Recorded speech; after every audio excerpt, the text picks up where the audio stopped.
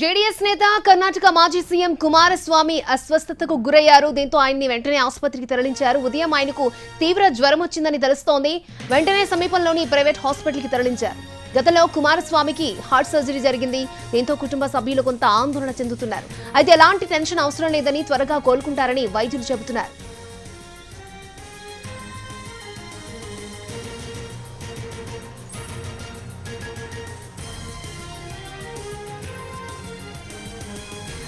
JDS నేత కర్ణాటక మాజీ CM Kumaraswamy అస్వస్థతకు గురయ్యారు. దీంతో ఆయన్ని ఆసుపత్రికి తరలించారు. ఉదయం ఆయనకు తీవ్ర జ్వరం వచ్చిందని సమాచారం. వెంటనే సమీపంలోని ప్రైవేట్ ఆసుపత్రికి తరలించారు. గతంలో కుమారస్వామికి హార్ట్ సర్జరీ జరిగింది.